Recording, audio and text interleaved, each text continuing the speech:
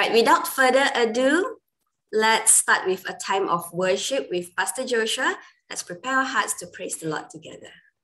Good to see everyone here. And it's a great privilege for me to worship with you all this morning. And I'm going to start off with a song which I wrote um, some time ago called about the prophetic word that comes that God is going to give us a big time of favor after this pandemic. I believe that the time is right now.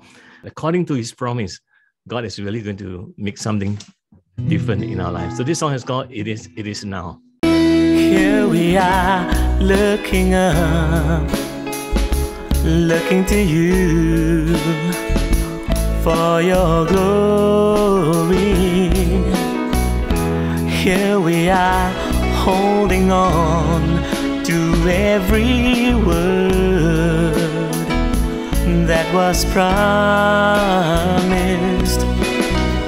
And we can hear the Spirit saying, It's time to fulfill the word that was spoken. Cause we've been waiting for this hour, the time of your favor. The year of increase is now. It is now.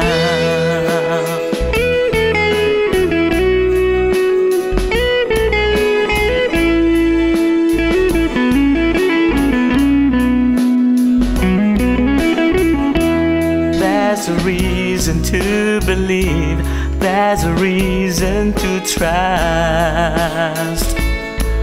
in a God who never lies. We believe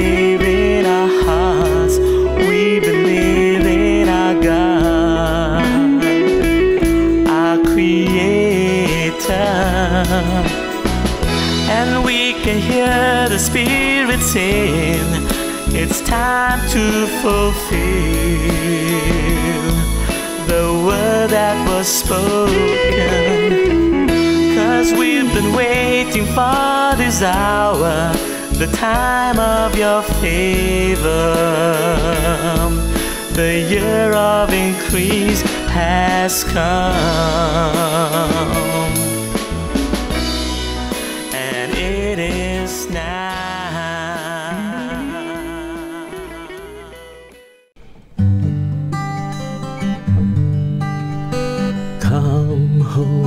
Spirit, fall on me now. I need your anointing, come in your power. I love you, Holy Spirit, you're captivating my soul. And every day I grow to love you more. Spirit, fall on me now. I need your anointing, come in your power. I love you, Holy Spirit, you're captivating my soul. And every day I love you more and more. I'm reaching for your. My life in your hands, drawing me closer to you. I feel your power in you. Nothing compares to this place where I can see you face to face. I worship you in spirit and in truth.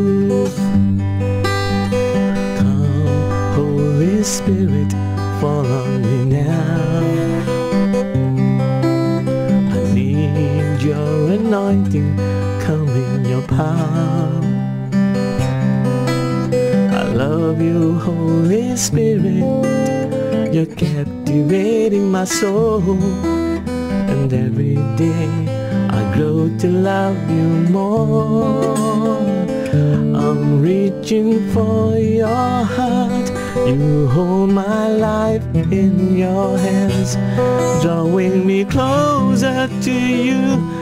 I feel your power in you. Nothing compares to this place where I could see you face to face. I worship you in spirit and in truth. I'm reaching for your heart. You hold my life in your hands, drawing me closer to you. I feel your power in you. Nothing compares to this place where I can see you face to face. I worship you in spirit and in truth. I'm reaching for your heart. You hold my life in your hands, drawing me closer to you. I feel the power in you. Nothing compares to this place where I can see you face to face. Worship you in spirit and in truth. I worship you in spirit and in truth. Oh, worship, worship you, Lord. Jesus, we worship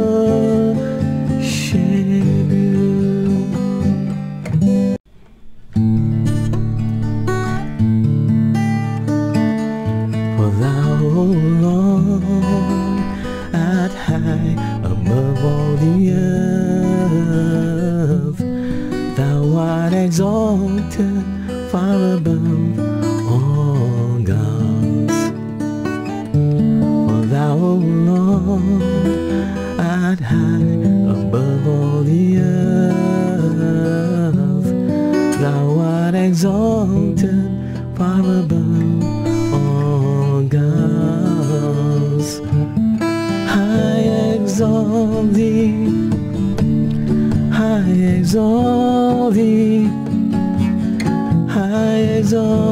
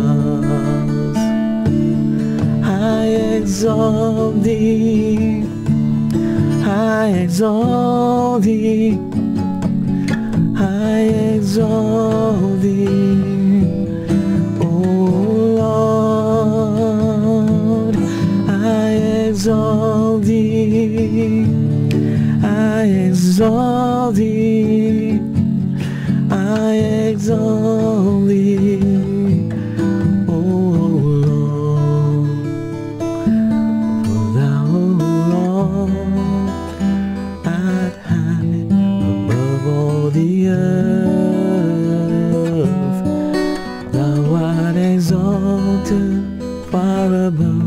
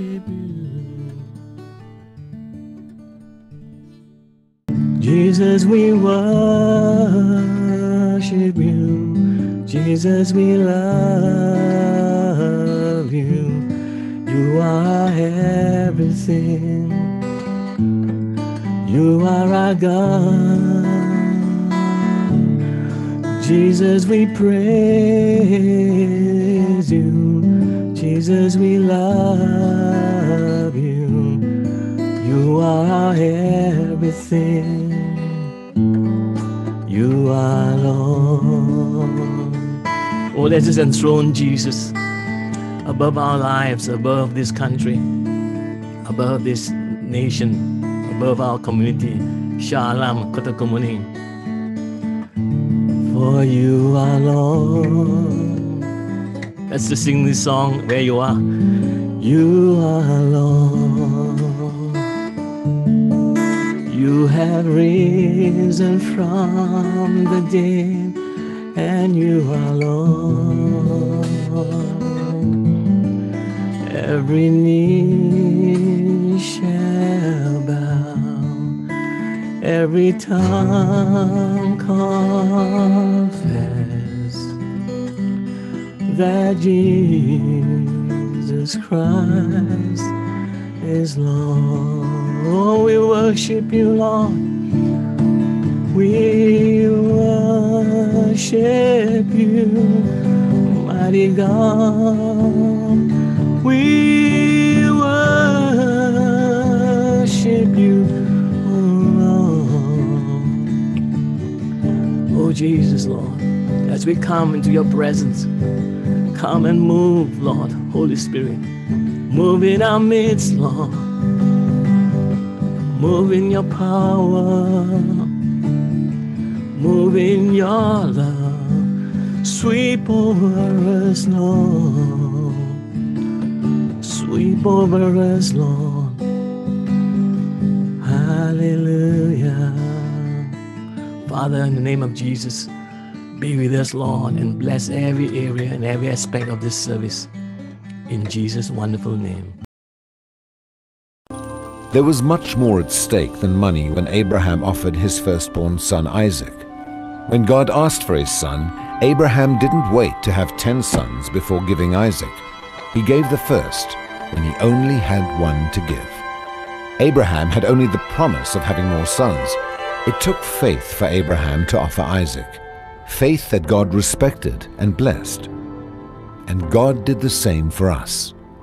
He gave his first in the form of his Son, his first and only begotten Son, who was given to us while we were still sinners.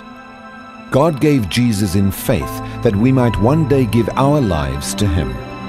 The gift of his Son came before the blessing of our repentance and salvation. We give our first fruits in much the same way. Before we see the blessing of God, we give it in faith. Giving the first fruits of your income says to God, I recognize you first. I am putting you first in my life, and I trust you to take care of the rest.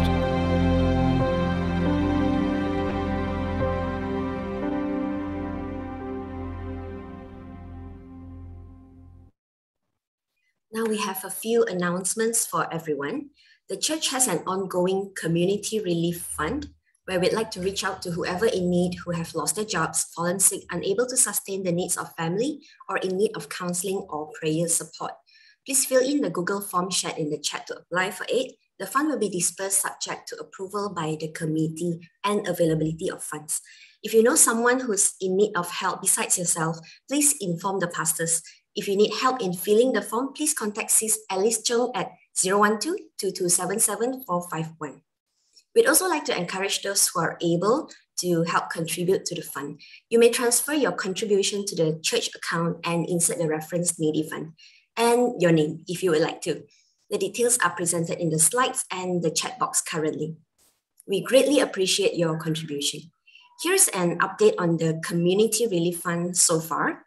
The amount received from 42 members is 31,600 31,600 ringgit. The amount disbursed to 17 person is 90,050 ringgit. The amount earmarked is 16,700 ringgit. The balance of fund that we have is 5,850 ringgit. Right, we would also like to announce that today we have a special guest, Dr. Amanda Albert. Dr. Amanda Albert has been a medical doctor since 2013 after graduating from IMU and University of Western Sydney. While pursuing her medical degree in Selangor from 2005 to 2009, she attended New Life Shah Alam too. She was a campus alive leader, youth leader, and served in worship ministry in our church. She was also a CF leader in IMU. Those who would like to further understand mental health issues, please stay back after the service and remain at the main room, as Dr. Amanda will be giving a talk on depression. She will also be with us for the next two Sundays for two other topics on mental health issues. Moving on, we are privileged to have Pastor David for his live sermon. Let's welcome Pastor David to share with us the Word of God. Amen. Praise the Lord. Good morning, church. Uh, so good to see many of you uh, and uh, over Zoom. Um, you know, I'm really excited. There's so so much happening. Beautiful worship by Pastor Joshua, the communion, Pastor Ron, and later we have Dr. Amanda talking about mental health issues. You know, um, today uh, I have in my heart to share with you a message uh, about the most important person in our lives. Okay, and it's none other than the Holy Spirit. You know, yesterday we uh, had over 30 of us completed uh, a BCM course on pneumatology. Big term, it simply means the study of the Holy Spirit. And congrats to all who sat through the nice Saturday morning classes with Dr. Simon Cheong. Trust that we all have a better understanding of who the Holy Spirit is and his work. And now is the time to experience him personally in our lives. Okay. I feel so much in my heart because uh, there's a lot that Holy Spirit wants to do in and through us. Okay. Uh, this passage I'd like to uh, read to you uh, in John 14. John 14, verses 16 to 17 says, and this was Jesus saying, And I will pray the Father, and he will give you another helper, that he may abide with you forever, the Spirit of truth, whom the world cannot receive, because it neither sees him nor knows him. But you know him, for he dwells with you and will be in you. Amen. Now, here we can see the Trinity of God mentioned. Jesus the Son prays to the Father to send the Holy Spirit. Now, yes, after Jesus returned to heaven, the Holy Spirit came pouring on the day of Pentecost, and we can read all that in Acts chapter 2. And since then, it has been the era of the Holy Spirit. Now, some of you might know uh, the three dispensations or eras, okay? A period of time uh, where each of the Godhead took center stage. In the Old Testament, um, God the Father as Jehovah, you know, that is the era of the Father. And after that was Jesus in the New Testament during the Gospels after Jesus was the Holy Spirit since Acts chapter 2. Okay. So you see that we are actually living in the days, in the era, okay, the period of the Holy Spirit. Now, today, the Holy Spirit is still actively moving in this world. Some may think that this pandemic has locked down the church and the Holy Spirit cannot move. Okay. I, I don't, I don't think there's anything that can lock down God. Okay? I believe the Holy Spirit is hovering, you know, hovering over the entire world, okay? preparing for something great. Just like in Genesis 1, when the earth was dark, empty, and void, the Holy Spirit was actually hovering over the waters. until God spoke, Let there be light. And there was light. Now we'll see light out of this dark and deadly pandemic. Okay. How and when, no man will know.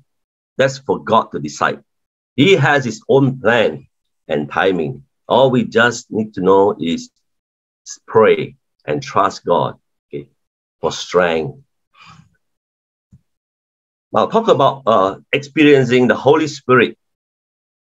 First, we need to know where He is now. Now, Jesus said in the passage we just read, John 14, when the Holy Spirit comes, He will be in us. In other words, He is living in us. And that's the indwelling of the Holy Spirit. Now, Paul wrote in Galatians 4, verse 6 Because you are his sons, God sent the Spirit of his Son into our hearts. And the Spirit who calls out, Abba, Father. Now, isn't it wonderful that we can call the greatest person the entire universe Abba, Father? Imagine, just imagine, right? If our Father is king or president oh, or perhaps a very wealthy man, how would we feel?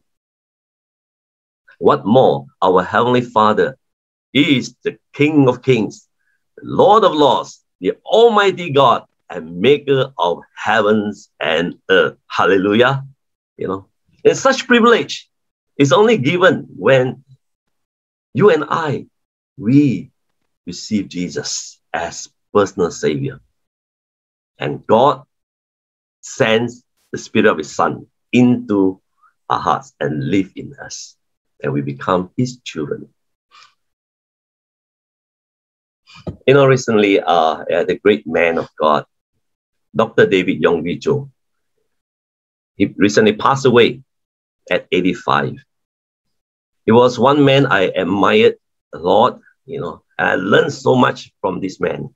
You know, especially in my early years as a Christian, I was uh, introduced to the Holy Spirit through this man, actually. He regarded the Holy Spirit as his senior partner. And as a senior partner, he would constantly consult him in many decision makings. Okay. In, in fact, I remember he said each time before he went up to the pulpit to preach, he would pray, Holy Spirit, you are my senior partner. You know, help me. Let's do it. So I'm asking the Holy Spirit right now. He is my senior partner. As I preach, Holy Spirit continues to speak. And he once shared about a member asking him, Where is God's address? Now, when his member asked him this question, he was stunned actually and didn't know how to answer. Where does God live? You know, where is God's address? Probably easy to point him, oh, God's address is in heaven. But what about on earth? So he actually searched through uh, from Genesis to Revelation, trying to find out God's address. He started off Genesis in the Garden of Eden, Adam and Eve used to meet God there. After that, would, they were chased out when they fell into sin. Next, he searched and came to Abraham. And Abraham would constantly meet God at the altar by burning sacrifices. Then move on to Moses. Moses met God at Mount Sinai.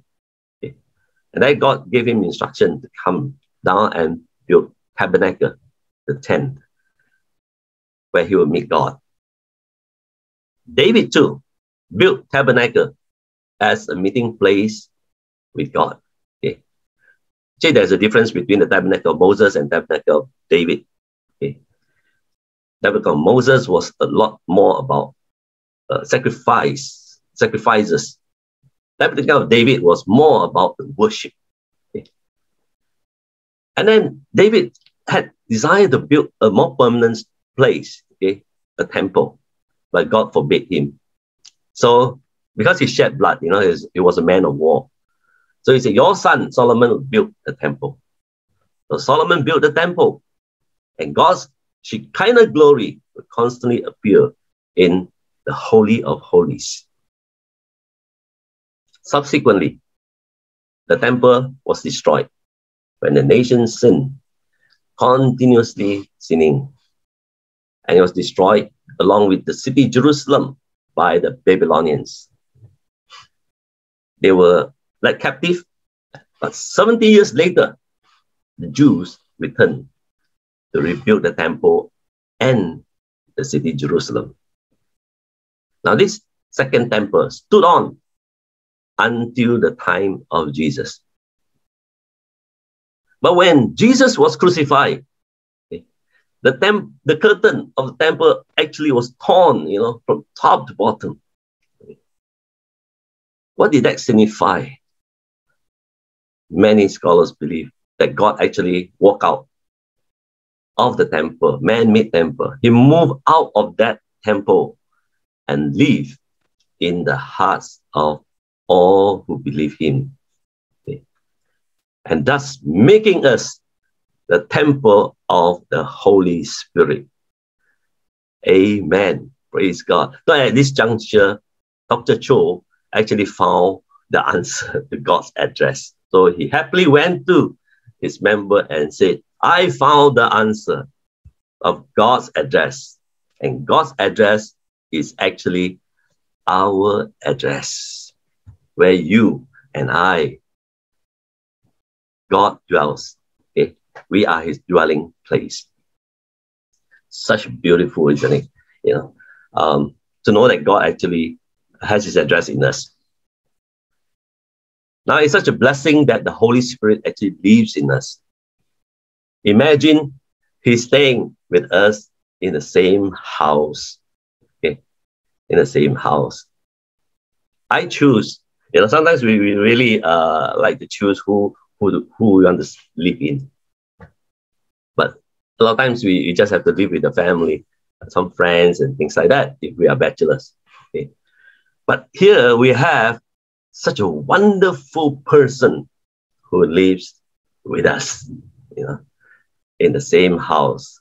We can talk to him, we can consult him, and we fellowship with him anytime, you know, anytime. Okay? Each day when we wake up, we can actually greet him, good morning, Holy Spirit. All right. Uh, how many of us uh, greet the Holy Spirit this morning? Yeah, we can do that. All right. Um, even at night, we can also sleep soundly. Okay. Uh, because the Holy Spirit is in us. He is our peace. He is our provider and He is our protector. I feel so secure, you know, uh, having God in, in me that I can have all these things, right? Now, in fact, the Holy Spirit is described as another helper. Another helper. Uh, in the passage we read in John 14, the term another in Greek is actually uh, this term called allos, okay? A L L O S which means another of the same kind. Another of the same kind. Now, what does it mean? Now, another helper, another of the same kind. Same kind as who? Same kind as Jesus. So the Holy Spirit is actually exactly like Jesus, okay, in spirit form. And he's like Jesus that is uh, always helping us and comforting us, guiding us, you know, and counsel us. When we are in trouble, He is there for us 24 7. You know, I can go on and on to talk about that. You know, there's so much we can experience with the Holy Spirit dwelling in us, isn't it? How about, you know, making Him your best friend, right? Your best friend. Hallelujah my, my wife is my best friend. Now I want Holy Spirit, even, even your greater friend, you know, we can have him all the time. That's the experience, you know. There's so much, so much really uh, with the Holy Spirit. But there's also another subsequent experience that we can have with the Holy Spirit. All right. Uh, it's called the baptism of the Holy Spirit. Uh, commonly described in the Bible, especially Book of Acts, you know, and also in the epistles, uh, is being filled with the Spirit. Being filled with the Spirit. And the initial sign is usually uh, speaking in tongues. Now, if you Google uh, New Life Restoration Center Malaysia uh, website, you can see our statement of faith there. It stated, We believe in the baptism of the Holy Spirit as an experience subsequent to salvation, with the scriptural evidence, namely speaking in other tongues as a spirit given utterance. Yeah. There are a number of passages there. In fact, there are a lot more okay, that confirms the sign, right? The evidence. Years ago, uh, I remember attending one Holy Spirit convention. Uh, the speaker was Reverend Naomi Dowdy from Trinity, Singapore. She demonstrated you know, how the Holy Spirit could fill a person. Okay? And uh, like this picture, you know, you can uh, show the slide. Um, the process, you know, on the left of the slide, you see there's an empty glass symbolizing each of us before we uh, became Christian. We were pre-believer. Okay, the glass was empty. God wants to pour into our lives, right? Uh, but the moment we receive, we believe, okay, Jesus, and receive Jesus into our hearts, God starts to fill the glass the empty glass with his Holy Spirit. And that is the second picture. Okay, as a believer, you know, God pour his spirit. That is the indwelling of the Holy Spirit. Now, when we continue to grow in the Lord and we desire more and we thirst for more, we hunger more for the Holy Spirit. And God will pour His Spirit even more into our lives until it overflows, right? And that's the third picture on the right, where it became a spirit-filled believer. We start to speak in tongues. So many of us have experienced that, right? Uh, recently, three of our members, after attending BCM classes, yearned to be baptized in the Holy Spirit. The first was Angie, then later on Lillian and Daphne as well. They were prayed for in the ministry room. Uh, and God just filled them. And they started uh, speaking in tongues. Each shared their experience, how they felt receiving the Holy Spirit. And it's truly amazing to hear and see what God is doing. Uh, so if anyone desires to be prayed for, to be filled with the Holy Spirit, do visit the ministry room after service. Okay. Pastors and leaders will pray with you. But remember, it's not the pastors and leaders who can fill you. It is Jesus, right? It is Jesus. Uh, in Matthew 3 11, John the Baptist uh, told the people, I baptize you with water for repentance. But after me comes one who is more powerful than me, than I, whose sandals I am not worthy to carry. He will baptize you with the Holy Spirit and fire. So, whoever is praying for you, okay, to receive the Holy Spirit, look to Jesus. I always tell people that I pray for, look to Jesus, okay? It's not me, it's not the people who are praying, but Jesus, all right? I believe many of us here have some point in time in our lives been baptized and filled with the Holy Spirit. uh, you have your story to tell. Okay. Each person's experience is actually very different. It's special and it's unique. And we need we should treasure all those experiences that we have. Even as I uh, prepare this message, I reflected back my own experience, all right, how I was baptized in the spirit. Um, you know, I, I got saved in my youth days back in my hometown. Uh, after uh, receiving Jesus, I joined uh, an AOG church in my hometown called Batu Pahat, Johor. The church was spirit filled and very much into uh, praying in tongues. The moment you step into the church, it's like, oh, tongues all the way. Pretty noisy, but it's quite happening, you know, and a lot of times very anointed. Um, and as a young man, I wanted to experience uh, that because many of my friends, they also experienced that. A few people prayed for me to receive, but I didn't receive. After a while, I was quite desperate. How come I couldn't receive and able to speak in tongues? So I went to the prayer room. Back in my hometown church, there was one room, especially for prayer. I went there to pray and seek the Lord alone. Okay, crying out. I remember those uh, times that I, I was just crying out to God, fill me. Oh God, I, I, I want the Holy Spirit, please fill me. And I tried to speak. Some, sometimes we try to imitate others. I tried, but I, I just couldn't. I just couldn't. Right.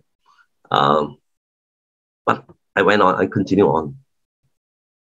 And uh, day after day, I was asking the Lord to fill me. Guess what?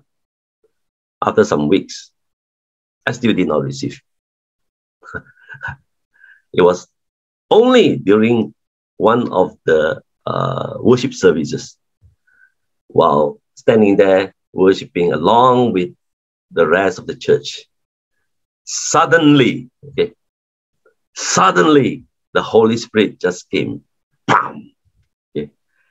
And I just spoke in tongues all on my own, standing there worshiping, away worshiping. The Holy Spirit came. Oh, I praise the Lord. And first time I ever spoke in tongues.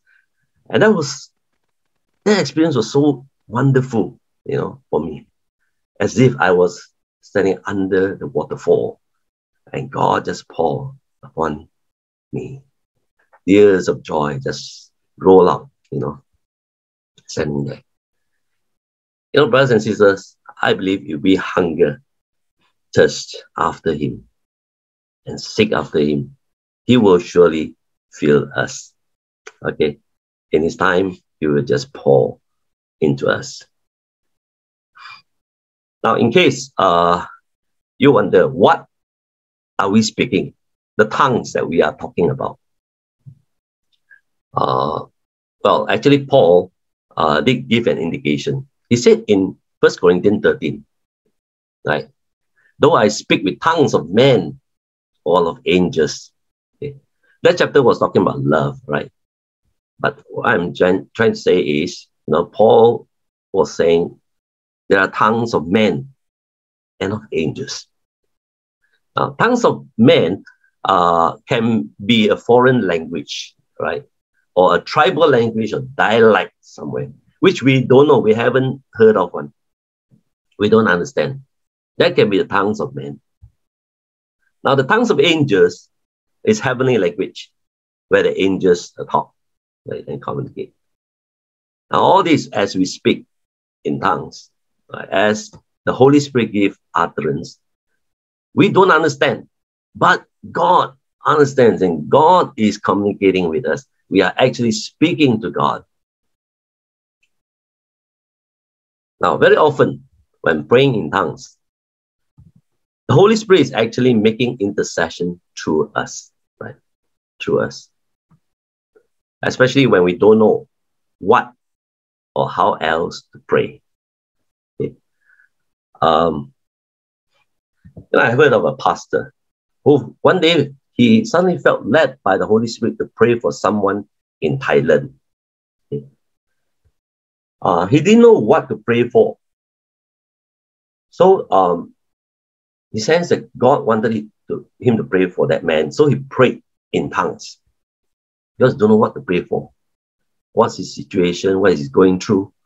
So this pastor prayed in tongues and prayed for quite a while. Then after his prayer, look at the clock. It was actually 5 p.m. And uh, okay, uh, two weeks later, this man came back from Thailand and you know went to see this pastor. And he told the pastor, you know, related his story. You know, Pastor, two weeks ago, I when I was in Thailand, I was going through a very uh, what do you call a dangerous situation.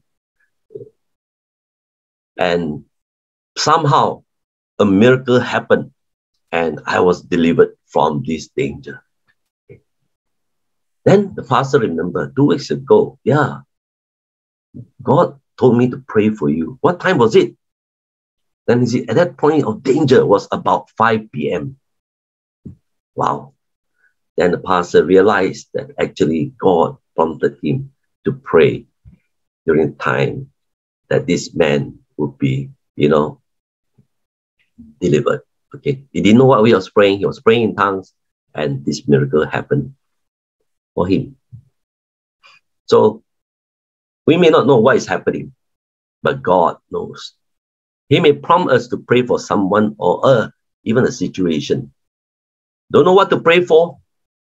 Pray in the Holy Spirit. Pray in tongues. This is a privilege that we can have. You know. Now, in our prayer, uh, we can actually pray with understanding, like Paul said. We can pray understanding. That means in the, the language we know, English, Mandarin, BM, whatever. That is with understanding. Or we can pray in tongues. On major and uh, tough situations, you know, or issues, I make it a point to pray more in tongues. Pray for my family, and then I will just pray in tongues. Pray for my children, I'll pray, you know, over church, over members, over plans, even over the nation. Okay. We can always pray. You know, sometimes we have limitation of praying. uh, I know I was talking to a brother one day, you know, we're praying so much for the nation, don't know how else to pray already. we're praying so much for pandemic, oh, don't know how else to pray. How about praying in tongues? It is a very powerful tool, right? Praying in tongues is very powerful. You know, uh, we have an earlier slide just now. Uh, it, it tells us how powerful it can be. It actually edifies us, right? It edifies us, according to Paul in First Corinthians 14. You know, what does it mean by edifies? It's just like a charging a car battery. you know, a car, after a while, you don't start, it is dead. Okay. I remember going for holiday somewhere and two weeks later came home, the car couldn't start. you know, we need to start that, you know, the, the, the engine to run and the battery keeps charging by itself. It's, it's like that. Praying in tongues is like that, you know. It, it's charging us up, it edifies us. Praying in tongues also, it builds our holy faith, according to Jude 20. You know, and Paul said in Ephesians 6 uh, is a powerful weapon, you know, for spiritual warfare. Now, um, talking about power, right? Holy Spirit is always often associated with power. I had several power encounters with the Holy Spirit. I just want to share this one particular one. some years ago, I actually fell into depression after a bout of uh, discouragement. Uh, tried to do a lot of things, just didn't work. And so on. Um, a slew of negative thoughts, you know, kept coming to attack me. You know, and saying, I'm useless, I'm a failure, you know, I whatever I try won't happen. And all these uh, thoughts came, they were like flaming arrows uh, shooting at me. Okay. Uh, each time uh, I tried to pick myself up, I would just fall. Okay. Um, the emotions were really like yo-yo, you know. One day up, next day down. One moment up, next moment down. Yeah, it's a yo-yo feeling. Uh, afterwards, okay, you can hear Dr. Amanda share about depression, how difficult it is you know, for people to go through that depression is uh, really tough. It's a real issue, right? It's a real problem. Many people are under mental stress, you know, especially this time of pandemic. Okay. So for me at that time, I tried many ways, okay, many different ways to overcome on my own. Right? Um, I spent a lot of times reading the Bible, uh, as any you know uh, good Christian would do, right? To build our faith. I spend reading the Bible, I pray, I worship, all of my own. I even enroll myself into Bible seminary, you know, see how any possibility of recovering. And also even took my family for holiday overseas, you know, take a break, you know, and see how it goes. Now all this helped, okay, helped a bit. But the depression was still very strong, was still there. Uh, during that period of time, it was very difficult. My wife and I, we cried a lot. And we really didn't want to meet people. Okay. And that was the withdrawal syndrome of a depressed person. Okay? Uh, more so, you know, to meet people who are talk positive things. you don't want to listen to positive things because you are you are going through such a difficult time and you're a failure. You just want to live in your own shell, uh, self pity. And actually, it went on for almost two years. Almost two years. I was going through that. Uh, the senior pastoral team, right, tried to help me. Okay. Uh, yeah, they tried very hard, but the thing was still there until one day, one day I heard God say this to me. You know, Menkin, I want you to pray in the spirit. I want to pray in the spirit. To me, it was very clear. It was praying in tongues. But then, in my condition then, uh, I, I was so filled with emotions, uh, sadness. I had little strength to pray. But because God said, and it was so clear to me, I tried. I tried to pray in tongues. But the tongues that came out were very weak. I tried, ah, kambaka sandara, baka sandara. There was really like no power in that prayer. I just very tired. Just but I prayed in tongues. It didn't last. Okay, the tongues didn't last. It was weak. Uh, but then God kept wanting me to pray in tongues. I persevere on day after day, day after day, week after week. And slowly I realized, hey, my tongue's getting stronger. Oh, and then I felt the strength slowly returning. You know, uh, as if like Isaiah 40 says, you know, they shall renew their strength. They shall mount up with wings as eagles. I was like feeling, wow, the strength is coming back to me like an eagle. And during the time, I still saw flaming arrows shooting at me. Okay, all the negative thoughts coming. But this time around is different. Each time these arrows appeared, I would pray against them in tongues. Oh, I saw the arrows coming and debut them, and carry on and on. Guess what? Soon I saw those arrows, you know, one by one dropping right in front of me, falling short in front of me. It was so real, very dramatic. um, And slowly, all these negative thoughts fizzle off. That's the time I realized I was recovering and growing in confidence again. After two long years fighting depression, the Holy Spirit set me free. Hallelujah.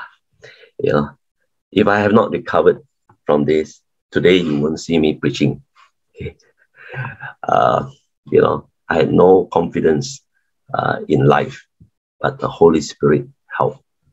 It's very powerful. Amen. Praise God. You know, in closing, I just want to share with you, you know, uh, this this early church actually experienced the Holy Spirit uh, in a powerful, powerful way. Uh, Acts 2, uh, the passage on the day of when the day of Pentecost came, they were all together in one place. Suddenly, a sound like the blowing of a violent wind came from heaven, filled the whole house where they were sitting. They saw what seemed to be tongues of fire that separated and came to rest on each of them. All of them were filled with the Holy Spirit and began to speak in other tongues as the Spirit enabled them.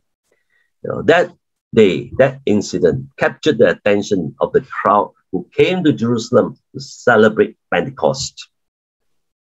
And as they won, were wondering what they were talking about and praying about, you know, they were wondering in amazement.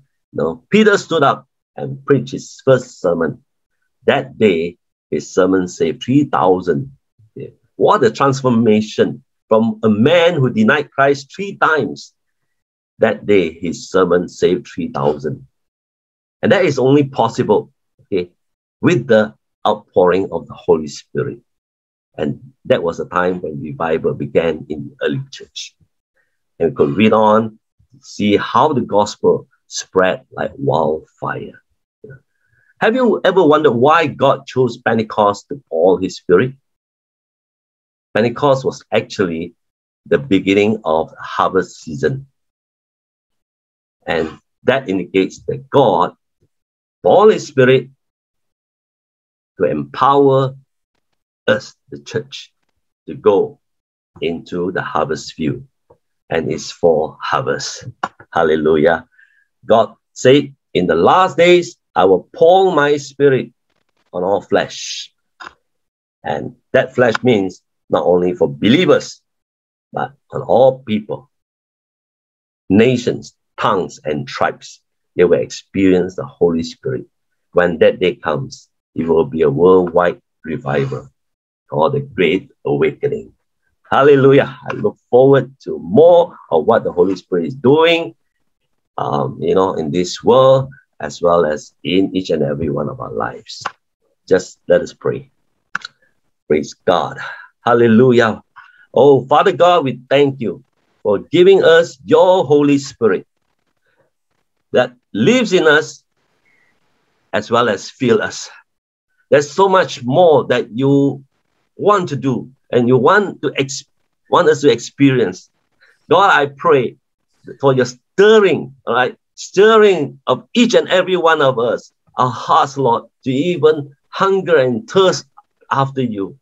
Lord, I pray that you set us aflame, our hearts aflame, Lord, by your Holy Spirit, that we will be so full and that we are able to have the power to overcome, live a victorious Christian life, as well as to be a Christian witness for you, to love you and serve you even more.